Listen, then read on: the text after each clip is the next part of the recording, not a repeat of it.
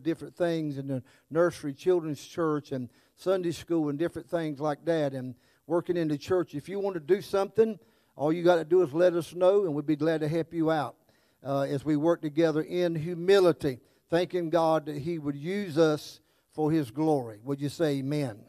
God is so good. Now, I believe in interracial marriage. I'm from South Carolina, and I married a woman from North Carolina. Would you say amen? Went up there and got her and brought her down from the hills of North Carolina. And we've been married for how many years, Mama? 37? 37 years. Amen. And Lenny, she ain't left me yet. Would you say amen? God is so good. We're going to pray together and worship the Lord in giving.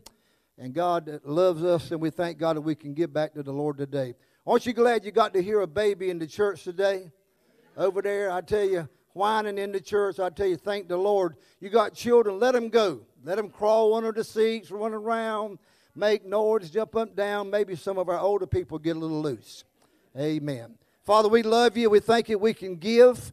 And we thank you, Lord, you're the ultimate giver. The scripture that she just read, and he said he came obedient even to the death of the cross. Thank you, dear Lord God, today. We love you. And as we give back, Lord, we give back in obedience because we've been taught the word that we know that we're to be givers, tithers, and bringing our tithe and offerings into the storehouse. God, we just bless you. Thank you for the faithfulness of every church member here, God, and everyone here who's working. We all working together, Lord, and we bless you for. It. We just want to be a picture of what heaven is, Lord. And we thank you, dear Lord God. You know respect of persons. And we pray, Lord, your blessing now as we get back to you. Multiply it for thy kingdom. In Jesus' name we pray. Amen. Children, ladies, and gentlemen, come quickly as we worship the Lord together in giving.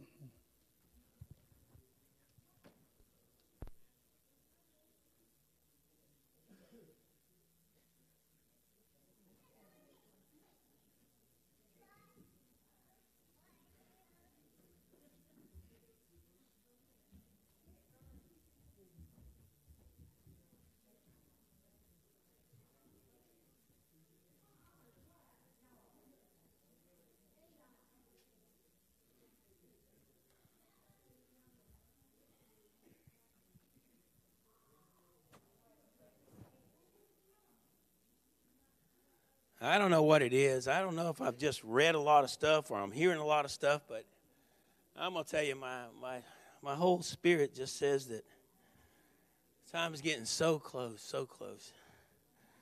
And I don't know if it's it's the Lord saying it's time for me to go or it's time for us all to go.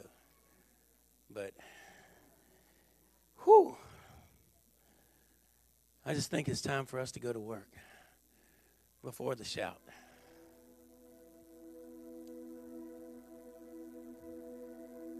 I long to breathe the air of heaven where pain is gone.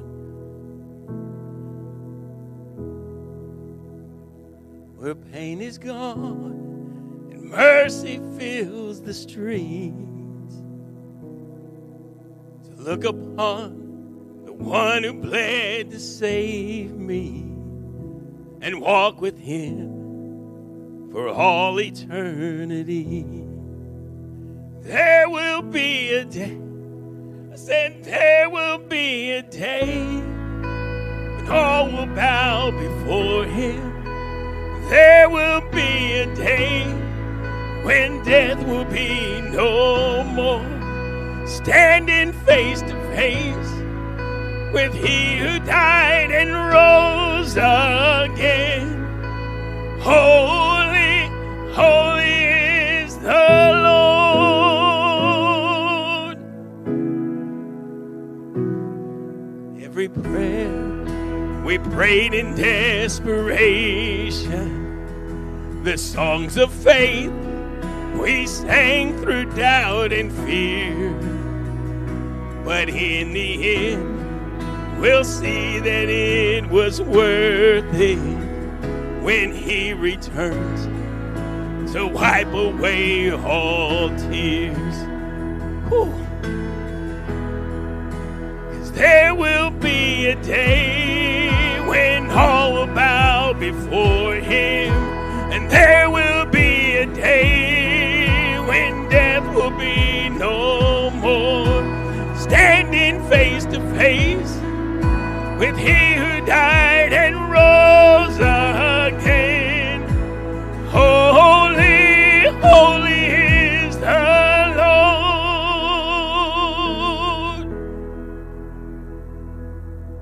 That day we join the resurrection and stand beside the heroes of the faith.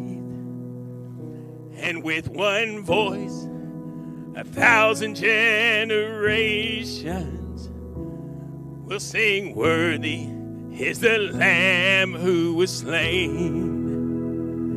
And on that day, we'll join the resurrection and stand beside the heroes of the faith. And with one voice, thousand generations will sing, Worthy is the Lamb who was slain. Oh, forever he shall reign. So let it be today. We shout the hymn of heaven with angels and the saints.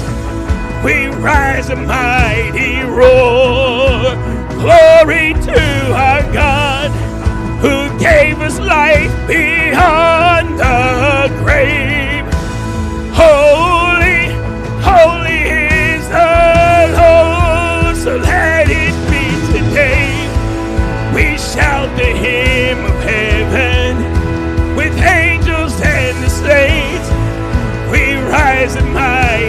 mighty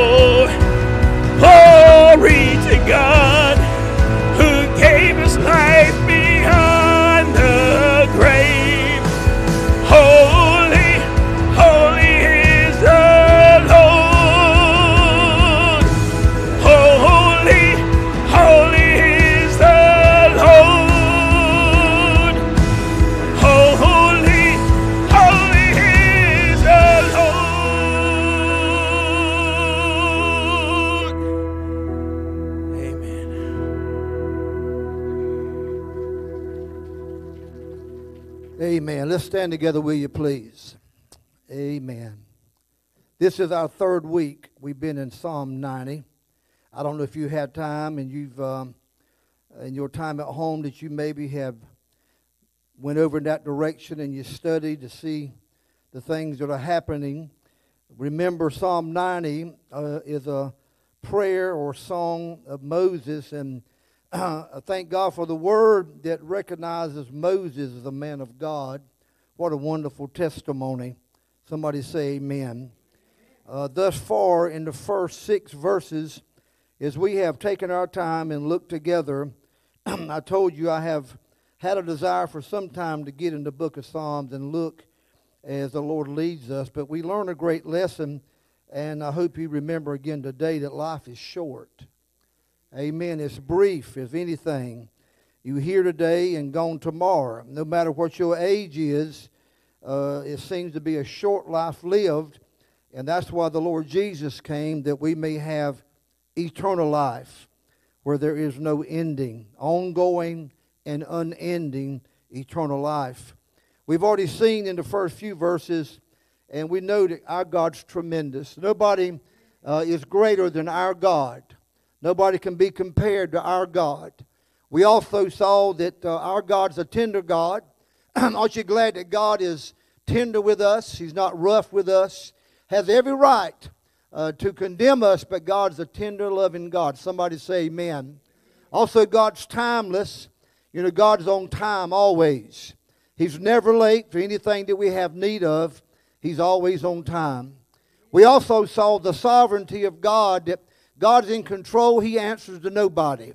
He don't have to give an account. He don't have to give a report. He don't have to report to anybody because he's sovereign God. Somebody say amen. But also God shows us his sympathy. He loves us. He cares for us when we sometimes do some of the craziest things you could ever imagine. Instead of God uh, judging us and putting us down and chastising us, God shows sympathy. But also, we looked together and saw the severity of God, that God judges sin. And we need to be aware of the truth of that today.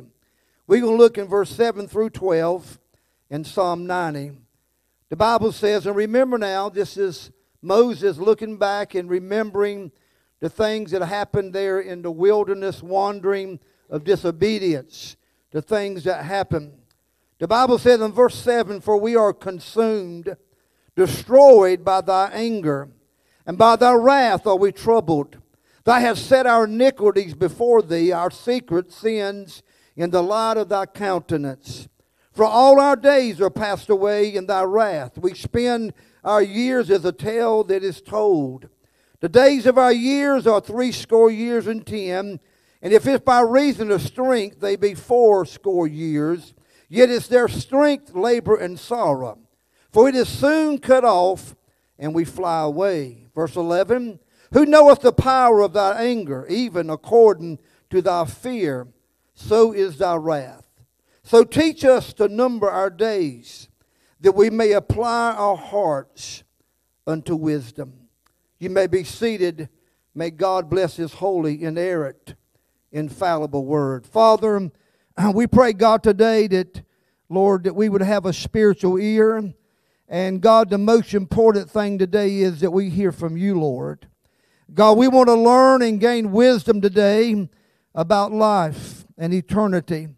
And we thank you, dear Lord God, that you have made a way for us where they seem to be no way. And we pray, Lord God, today that we'd have divine understanding. And Father, I pray you would completely move me out of the way, Lord God. What we need to hear, Lord, is we need to hear from you. And I pray, God, that you would speak to every heart. And I pray if there's anyone here today not saved, the day they would surrender their life to you, Lord. And those who are watching, speak to them, God. We love you, Lord, and we praise you, and we thank you for the message of your word today. In Jesus' name, the church says, Amen. The day as we move to verse 7, Moses begins a new thought here in these verses. Moses speaks about man's sin and God's sentence. The Bible tells us that the wages of sin is death.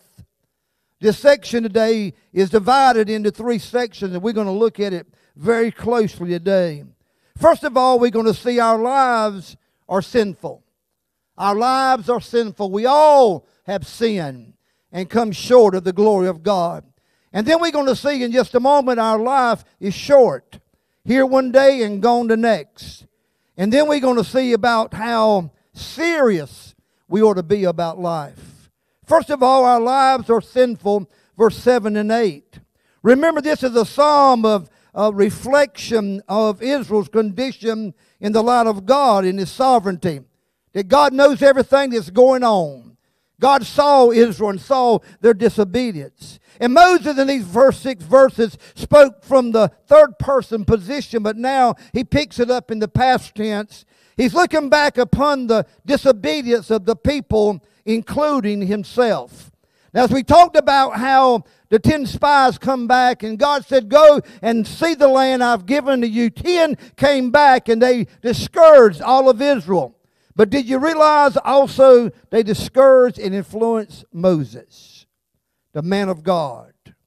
Remember, God told Moses, Go send the spies, view out the land I had given to Israel. God said He gave it to them. Joshua and Caleb, they had favor with God. They believed God. And they said they could take it, but the majority ruled. Moses allowed the unbelieving and doubting and faithless congregation to lead him into disobedience. Listen, church, obedience is better than a sacrifice. We should obey God. Amen. All men, every man must answer to God for our own unfaithfulness. Disobedience, whether you are a child of God, a leader, a follower, whatever, disobedience brings death. If disobedience to God's word, it stirs up doubt and it brings disaster into the life of people. In verse 7, Moses said, For we are consumed by thy anger, by thy wrath we are troubled. The Bible says in the previous verses that they were carried away like a flood that God moves quickly, as I told you last week. When the judgment of God comes, it don't come slow, it comes quickly. We must note the punishment of God upon those who discourage and those who disobey. The Bible said in Psalm 59, verse 12 and 13, For the son of the sin of their mouth and the words of the lips, let them even be taken in their pride and for cursing and lying which they speak. Uh, consume them in wrath. Consume them that they may not be, and let them know that God ruleth in Israel unto the ends of the earth. I tell you, it's a, it's a, it's a bad situation, uh, and it's bad uh, to be a discourager. When God says we ought to be doing, we are not to discourage people. And let me say this to you absence from the work of God is a discouragement. We all need to make ourselves available God has gifted every one of us. One person shouldn't do everything. We all should be working together for the body of Christ. We're all one body. Whatever part of the body you are, you ought to be doing something for the glory of God. Say amen. It's easy to sit back, stay home, whine, and complain and gripe about the way things are when you're not even in the house of God. Somebody help me preach today. Our life is so sinful, and apart from the grace of God in Christ Jesus, our Savior, we consumed by God's anger and troubled by God's wrath. The Bible says in verse 8, Thou hast set our iniquities before thee and our secret sins in the light of the countenance of God. Always know this with God, there's no such thing as having a secret sin. You can't have no secret sins. The preacher might not know, the people might not know, but God knows everything. Well, why you say that, preacher? Because Proverbs 15 and 3 says, The eyes of the Lord are everywhere, beholding the evil and the good. God sees all. Moses looked back in verse 8 at Israel's troubles and says, Thou hast set our iniquities before thee. I, I, knew when I was looking at this message and getting ready for today, there wouldn't be a whole lot of shouting today. Because we're talking about sin, and we all sin. See, God sees what we do, and God hears what we say. Amen. And as a, a, a, and as of an act of grace and mercy, God puts them right out in the open. The Bible tells us that God chastens the, those whom He loves. You can't get away with sin and claim to be a child of God. God puts our secret sins under the light of His countenance. CSI stands for God seeing our iniquities. Our sins before our God, they stare Him right in the face and cry aloud for exposure and punishment and correction. God corrects us, would you say amen?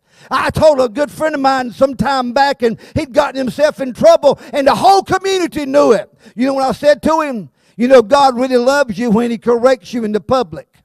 Would you say amen?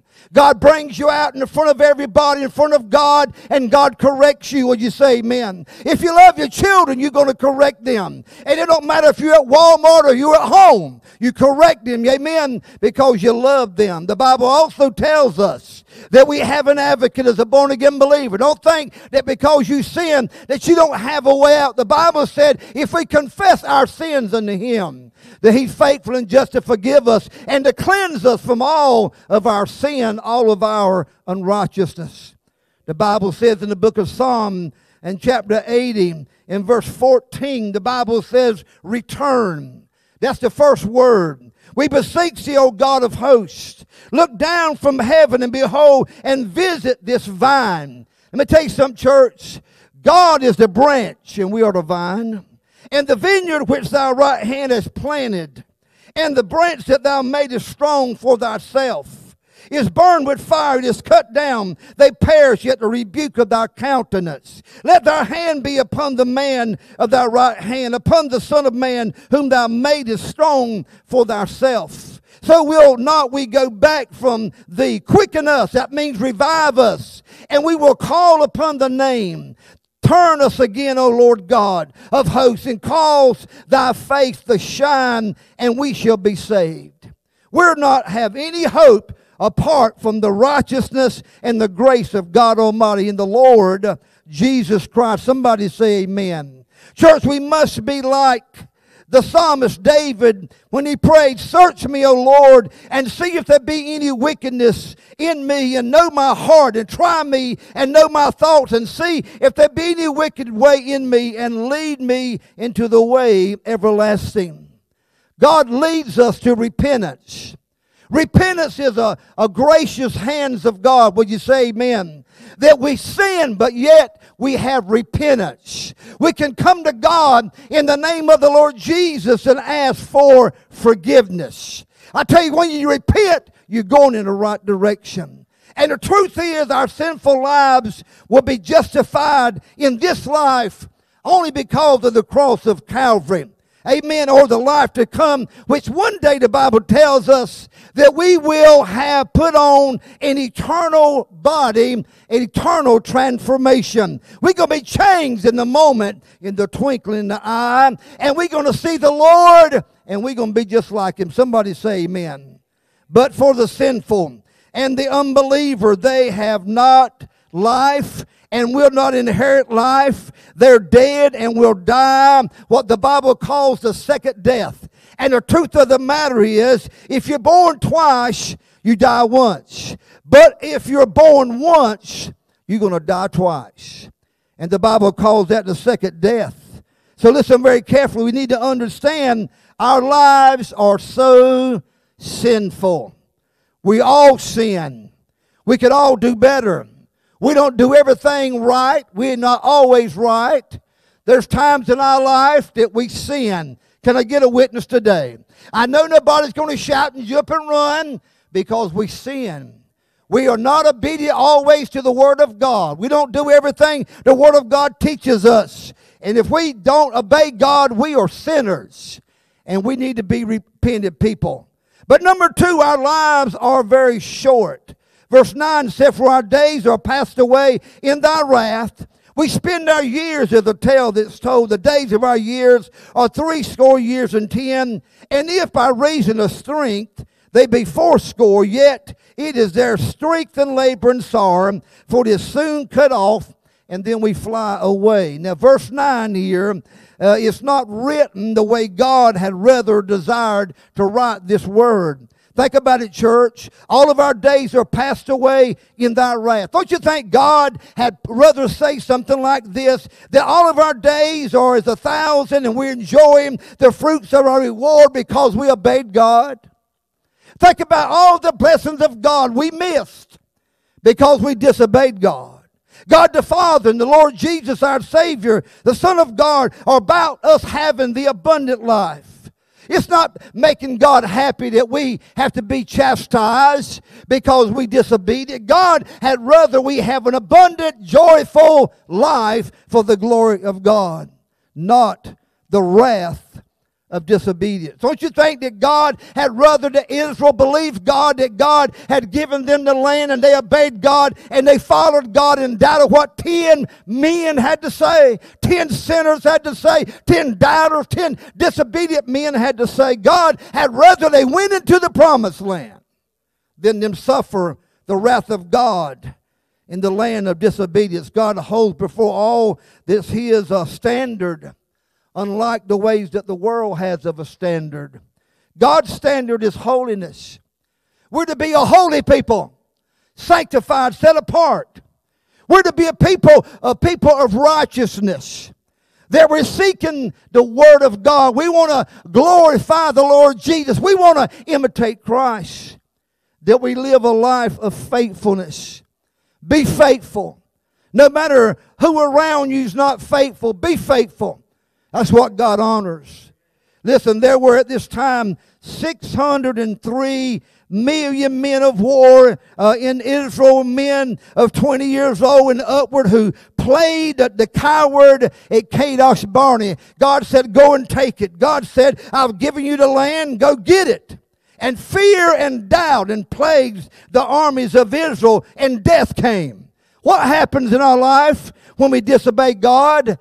Death comes, darkness comes, disaster happens in our life. Don't think it's strange when you find yourself in a disastrous situation because we disobeyed God.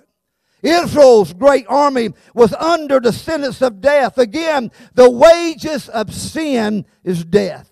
Now remember here God's will for the believer is 3 John 2, Beloved, I wish or I will above all things that thou mayest prosper and be in health, even as thy soul prospers.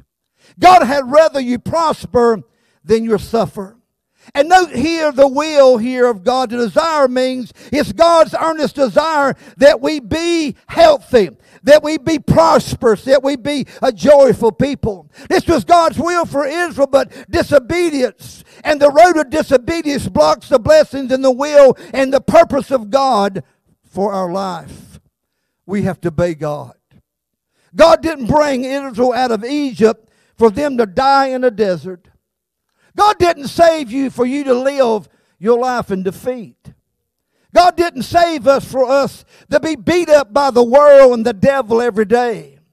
God saved us that we could have joy in an abundant life. Amen.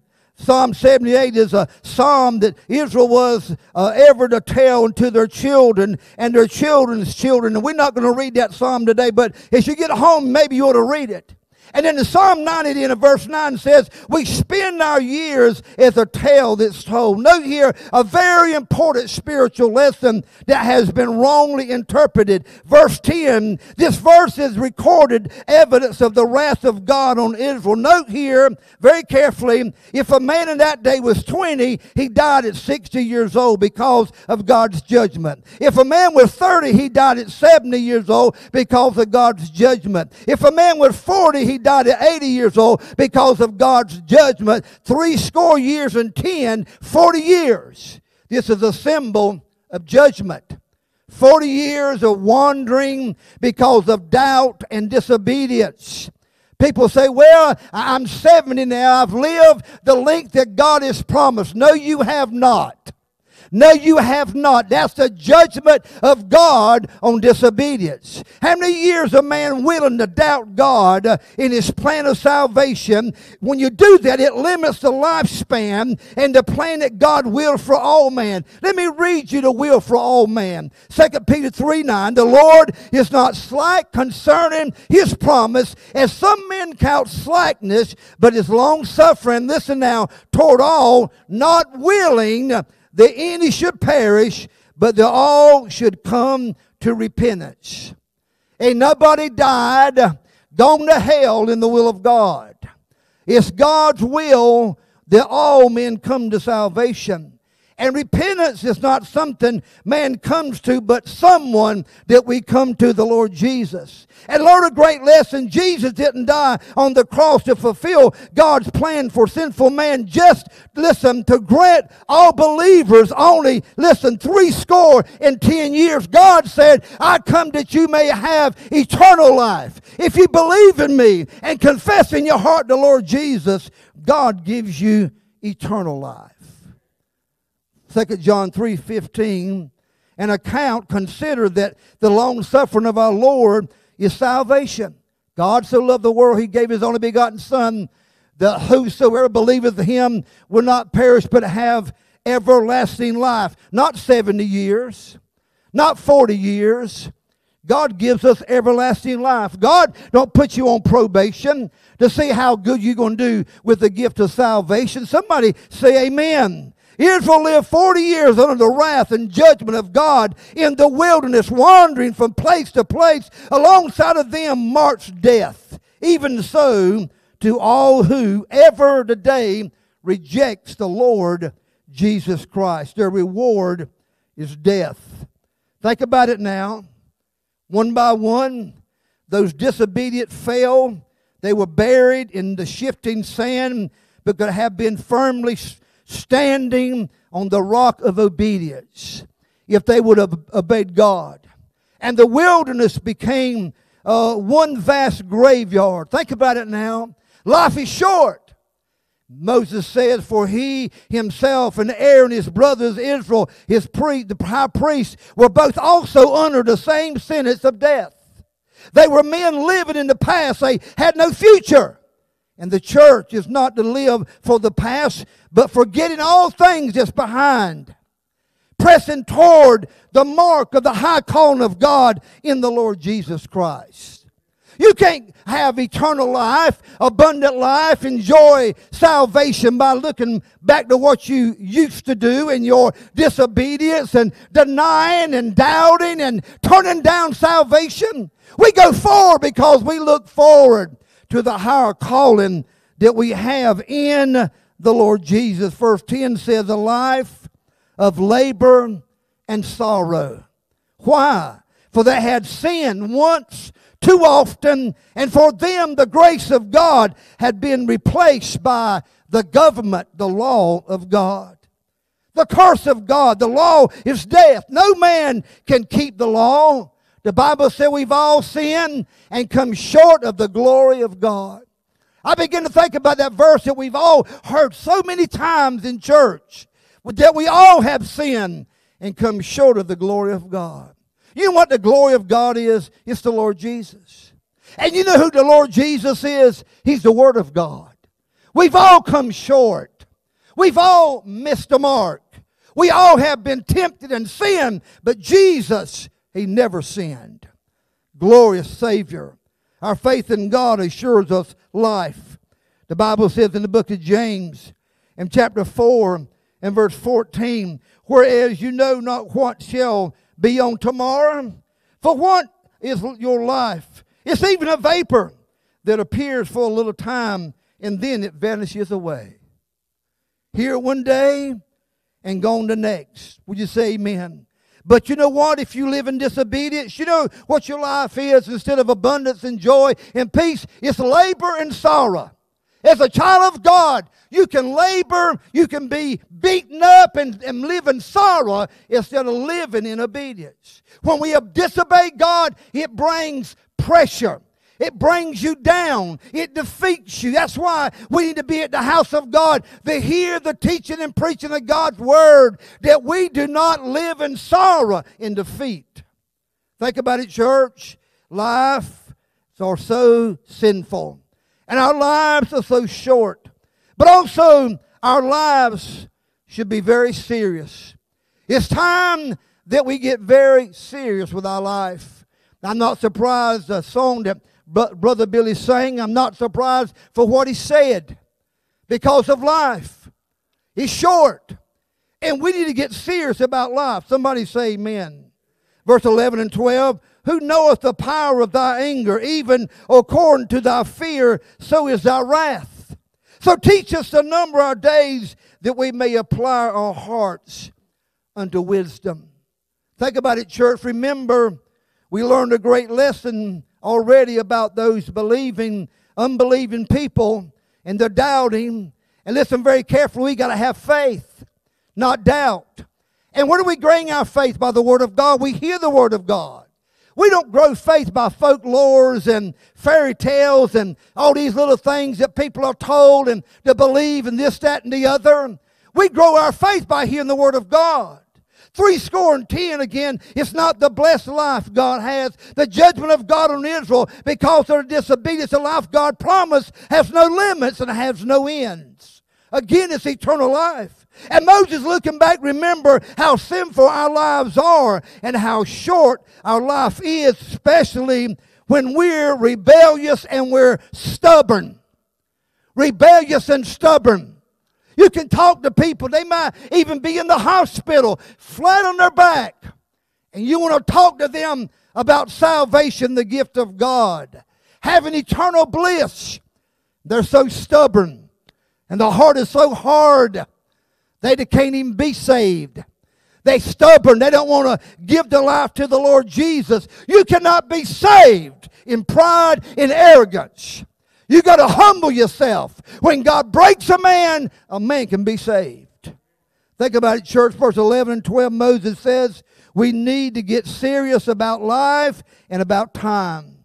And listen, once a person is born into the world, Listen, time lights the fuse of our life, and we had better take it very serious. We know, we know the Lord's coming. We know that we got to stand before God one day. Listen, I was thinking of what it might be have been taken uh, in your life to begin to, to get you serious about your life. What was it? I mean, that God had to put you in a, a bad situation, in a corner to get your attention. Maybe it was a loss, a sickness, or maybe a letdown or a wrong choice or, or divine awakening from God. God is doing all that He can to get our attention about this life that we live. It may be good, it may have been good, but it won't last long. It won't last long. But nevertheless, the fact is, we came to ourselves. I thought about the prodigal son down there eating with the hogs, and he came to himself. Have you ever been in a place and you looked around and said, How in the world did I get here? When I know the goodness of God, how in the world did I get myself in such a awful predicament? I thought about Naomi down there Moab bringing Ruth back. She said, I'm down in Moab. You know, Moab means a garbage dump. She left a house of bread and praise and she finds her life down in a garbage pit. That's what happens when we live in disobedience to God's word. Things are not good and lovely and sweet. We live in a garbage pit in Moab. What Satan meant for bad, if we give it to God, he can use it for good. Even it might be in Moab. And I said, and we need to know here today, church, that first we come by the law before we can then come by the Lord. You know, the law condemns us. And we have to admit before God that we have sinned. We have to admit before God that we, we have to admit before God that, that we need to be saved. That we're tired of living in sin. And we got to admit before God that we're broke God's law. We all have broken the laws of God. Verse 11 says, Who knoweth the power of the anger of God? Do you know God's power, His anger? The law stands us as a guilty before God in the presence of His anger and wrath. And because of disobedience and sin, and in this life, the fuse is burning, and we need to move quickly and seriously into salvation of the Lord. The Bible says the day is the day of salvation.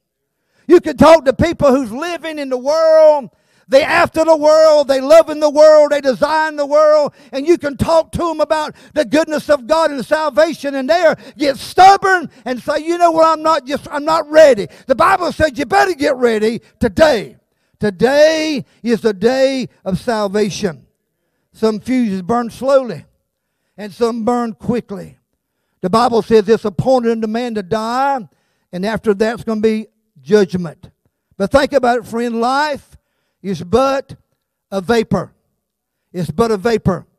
Psalm 7:11 says God judges the righteous and God is angry with the wicked every day. Every day God is angry. Every day. Amen. We got to understand here we must respond to God now. Make it right with God today. But in spite of the truth, the world is asleep at the wheel. Think about it now. They seem to be shrugging off the need of salvation and roll over and they go right to sleep. I, I don't need God. I don't need to make a change in my life. Not acknowledging the wrath of God upon the wicked and the unbelieving. There's a day of judgment coming and we better be ready to meet God. Jesus was so come, the Bible says, as a thief in the night, and no man knows the day nor the hour. There's power, friends, in God's hands. And we need to understand that we must be prepared and we must make it right with God. Moses said in verse 10, now remember, he's talking about God's people. Who knoweth the power of his anger? Have you ever wondered when God will say, That's enough? That, that's it. I, I, I'm not standing for the evil and wickedness of the sinful, unbelieving world any longer. I've had it. That's enough. That's enough.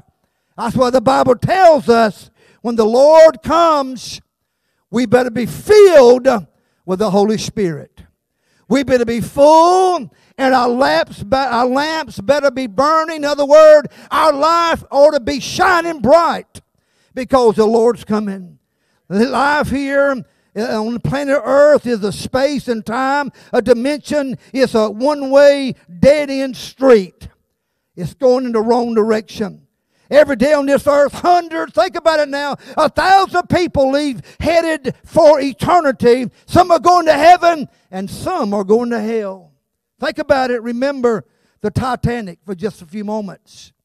That great picture Uh, of this world. People drinking, some debating, some despairing. Within the Titanic was a level for all classes of people, yet all were destined to the same chilly waters of the grave. It don't matter if they were in first class or no class.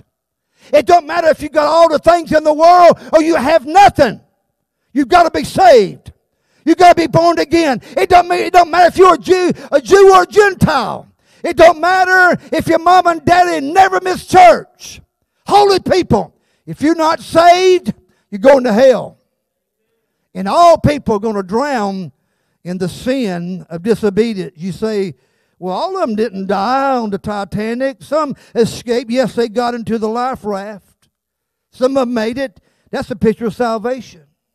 Some of them made it. The Bible said, wide is the road to destruction but narrow is the way to everlasting life, and few there that enter in. Only a few people made it from the disastrous situation of the Titanic. Wide. More people died than more people escaped. In verse 12, Moses, in this verse, he reveals a man who has been broken and now able to be taught. People are broken and able to be taught. You know, when people come to church, and as a pastor, you know, it's important that when we come to the house of God, that we come in a spirit of humility. Uh, that we don't come in here and strut around and say, I, I got more gifts than you got, and uh, I know more about God than you do. Well, if you know more about God than I do, you're so humble, you probably won't even open your mouth. Because you know God so well, and you're trying to figure out how God can love us and we're such sinners. I learned something, and it's the truth. There's only three people that you can help when they come to church. You can win the winnable, those who are willing to be saved. You can teach the teachable, those who are willing to be taught the Word of God. And you can lead the leadable. Some people you just can't lead. Some people don't need no leading, they want to be the leader. They want to be in charge. They, nobody can tell them everything. I, I, know everything. I don't need to learn. I, am through learning. If you're through learning, you're through. Uh, when, when, I studied this psalm, it, it just busted my heart wide open to think about how powerful God is and how sinful I am compared to God. Psalm 39 4 says, Lord, make me to know my end and the measure of my days, what it, that is, that I may know how frail I am. We're frail. We're frail. God is omnipotent. We're only here for a little while. We're nothing more than a vapor.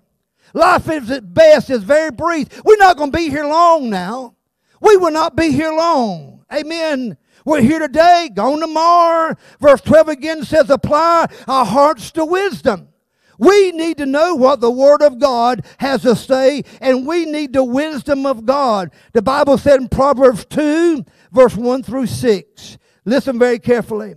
My son, if thou wilt receive my words and hide my commandments with thee, so thou that incline thy ear unto wisdom and apply the heart to understanding. Yea, if thou criest after knowledge and lift up thy voice for understanding. If thou seekest her as silver and searchest for her as for hidden treasure, then shalt thou understand the fear of the Lord and find the knowledge of God. For the Lord giveth wisdom out of his mouth and cometh knowledge and understanding.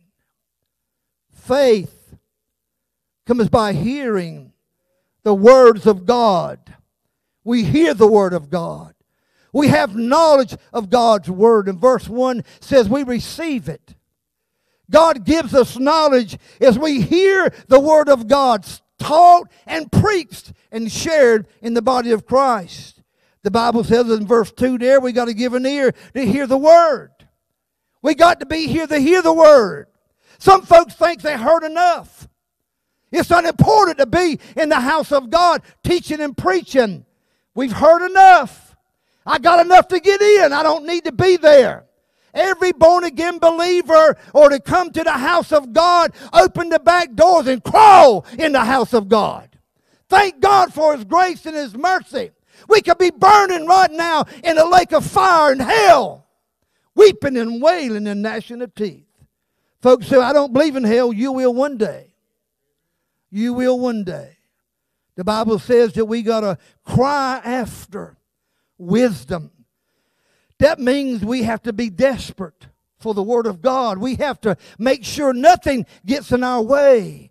That we don't allow anything to, to stumble us or anything to come between us and what God has to say. Seek, as the, the Bible says, the Word of God is though it's a great treasure. If I told you to go home and look in a certain place in your backyard is a, a whole gold bar, you'd be there so fast you wouldn't even get a shovel. You start digging with your hands.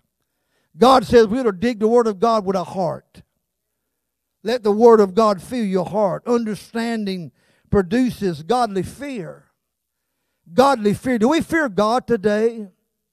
Do we wonder all the things that's going on? Think about the life in which we live in now. Can you imagine? Can you imagine all that we face today? Who would have known that this thing flying around balloon air today wasn't full of sickness and some kind of virus or some kind of disease? Who knows? Who knows if it hadn't been uh, blown up and the first thing you see is the Lord coming out of the eastern sky? You better be ready now to meet God. Don't think things that are happening today are strange because the Lord's coming back and we got to prepare ourselves. Man, the Bible tells us, as the Lord thinks about the Word of God, He is the Word of God. Satan tempted him, and Jesus said to Satan, Man does not live by bread alone, but by every word that proceedeth out of the mouth of God. How can you keep going when people try to tell you to quit? Why are you here today? Because you've heard the Word of God. And the unbelieving doubter, the scourger, is not going to scourge you from hearing the Word of God. It makes a difference. And know what? Come after the mouth of God uh, uh, originally from the heart of God. God speaks from his heart. God is a God who's concerned about our heart. We believe in our heart. We confess with our mouth the Lord Jesus, and then we can be saved. It's not about your head, it's about your heart. Godly wisdom is a, is a heart wisdom. It, it motivates you to, to keep seeking the Lord and to seek Him with your whole heart. Seek after God. Think about it, church. Life is very sinful. Our lives are very sinful. Aren't you glad we have an advocate? Aren't you glad that we don't stand before God Almighty with no representation? Aren't you glad that we have an intercessor? Aren't you glad that we have someone that stands and represents us in front of Almighty Holy God, the Lord Jesus? I died for her. I died for him. He accepted me. She accepted me as Lord and Savior of their life. I washed all their sins away. Therefore, those who are in Christ Jesus, there's no condemnation. Amen. We thank God today that though we sin, we have an advocate. Aren't you glad today that we have enough understanding to know that no matter what our age is today, that death has uh, anybody, no matter what your age is, anybody can die. But life is short. Even if you've been here a long time, life is a short life. It's sinful, and it's short, and we need to take it serious today. How serious are we today uh, about our life? How serious are we today to know God is our Lord and our Savior? To apply the gospel, the way of salvation. No wonder Jesus said, I'm the way and the truth and the life. He's actually said, I want you to come to the Father, but I'm the only way you can come. I paid the penalty. I paid the price that no man could pay. I paid it, the ultimate, perfect sacrifice. I am the Lamb of God who was slain before the foundation of the universe. Church, do we understand today the shortness of our life?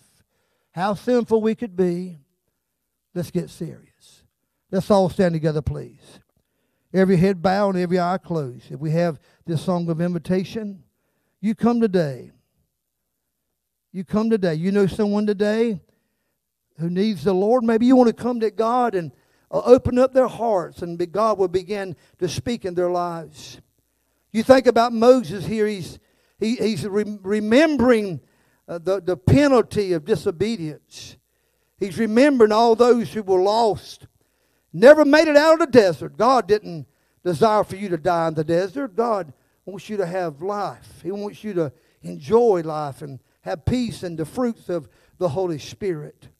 The fruits of the Holy Spirit. I shared this Wednesday night. If you keep your head bowed for just a moment. My son sent me a letter and he said, Dad, love is a choice. I said, No, son. Love is Jesus. And, and love is the fruit of the Holy Spirit. And if you're a child of God, love is not a choice. It's automatic because you love everybody. You don't just love somebody or people who look like you or just your immediate family. The love of God lives in you. The love of God lives in you. And you think about it here's a man called in the Word of God, a man of God, but yet could be influenced to go in the wrong direction.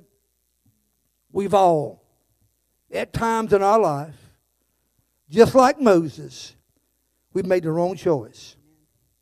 Aren't you glad that God's standing there? The Lord Jesus with his arms spread, with his narrow scarred feet and hands and side. And he's there for us to help us to return to the Lord. Today is the day of salvation. You come today as the Lord may lead you. Those who are watching as the Lord speaks to your heart. You come as we have this song of invitation. Come quickly.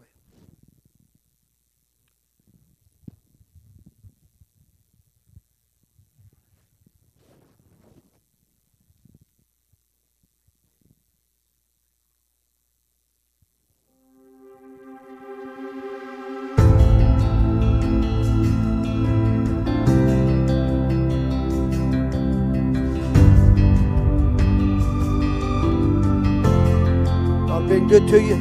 There I was in the shadow,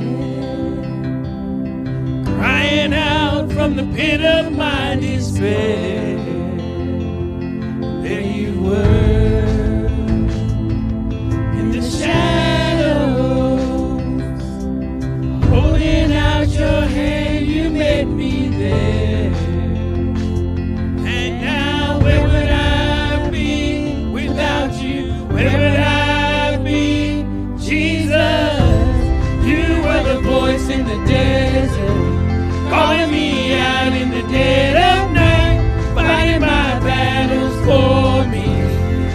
my rescue story, lifting me up from the ashes, carrying my soul from death to life, bringing me from glory to glory.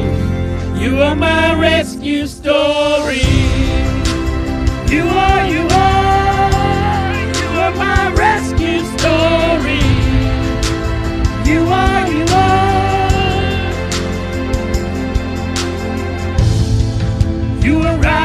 Writing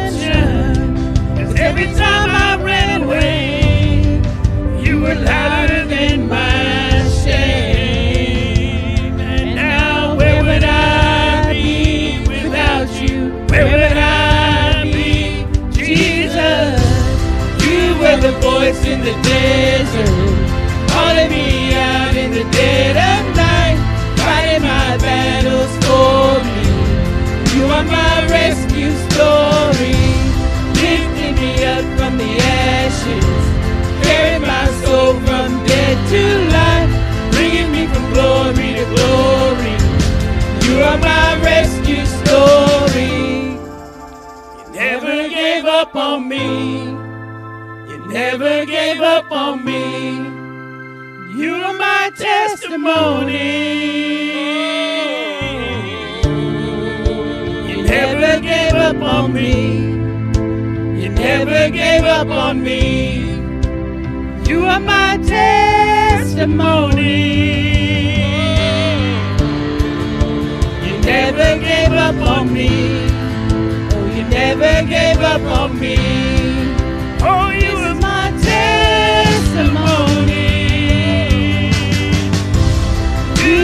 Voice in the desert, calling me out in the dead of night, fighting my battles for me. You are my rescue story, lifting me up from the ashes, carry my soul from death to life, bringing me from glory to glory. You are my rescue story. You are, you are, rescue story. You are, you are, you are my rescue story.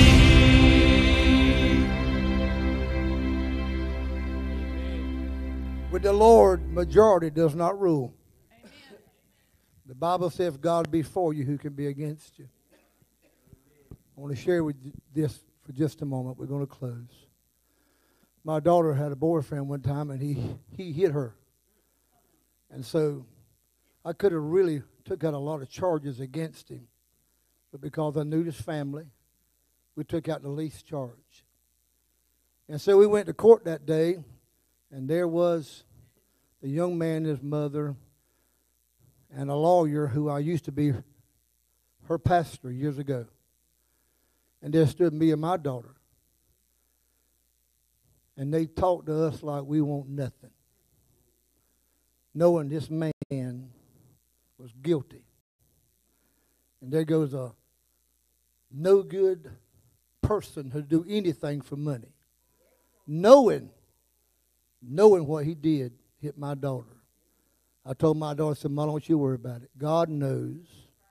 God knows He's better than that judge. He's better than that lawyer. He's better than people.